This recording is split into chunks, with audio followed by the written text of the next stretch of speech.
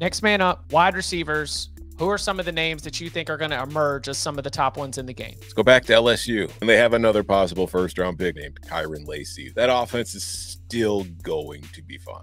Travis Hunter. Ah, I think he's a a better receiver than a DB. I don't know what the plan's going to be for him. Isaiah Bond, I think is going to be one of the top wide receivers. Evan Stewart, Oregon. From Texas A&M. I really like Georgia's Dillon Bell. I think he's going to emerge as a top guy for them. I think Restrepo at Miami is going to catch a million balls. Cam Ward loves to target the slot. I mean, we talk about Egbuka being the name everybody knows. I wouldn't be surprised if Carnell Tate's the best receiver on Ohio State next year. Zach Branch, USC. He's the closest thing we have to Tyreek Hill in the sport. It's not as thick, but speed wise, Zach Branch has it. in the freshman mold. Jeremiah Smith, he's one of the best receiver recruits we've ever seen. He's the highest rated one ever on 24 7 Sports. So definitely one to look out for.